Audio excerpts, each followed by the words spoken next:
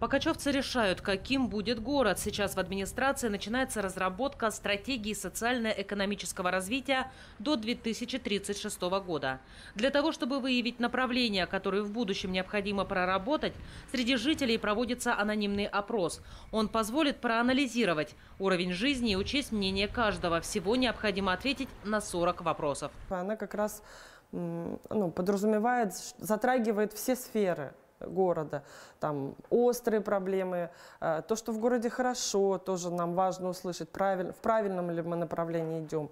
Исходя из этого будут формироваться направления развития города, обязательно все мнения учтутся, и это будет заложено именно ну, на перспективу развития. Сейчас мы до 1936 года планируем, и там параметры развития могут быть и до 50-го. Опрос продлится до 17 февраля. Пройти его можно по ссылке, которая размещена на официальной странице города в социальной сети ВКонтакте. После завершения будет подведен итог. Обязательно мы будем проводить стратегические сессии, а, планируем с различными категориями населения, с производственниками, с бюджетниками, э, с молодежью, с э, нашим старшим поколением. То есть мы хотим э, как бы на этих площадках уже обсуждать те идеи, которые вот ну, с помощью анкет мы собираем с жителей.